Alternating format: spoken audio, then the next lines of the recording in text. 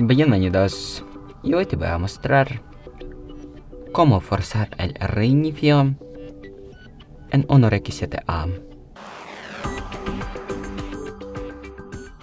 Por lo primero tenemos que mantener presionado el botón de encendido y de bajar volumen al mismo momento y uh, no toquemos nada en la pantalla hasta que no se apaga. A ver.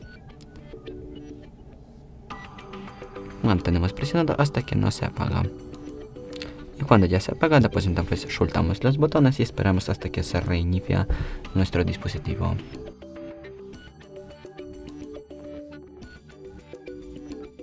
Y así ya como hemos forzado el reinicio, aquí introducimos nuestro pin. Y es todo. Muchas gracias por ver este video. Dejar un gusto en comentario. Hasta la próxima.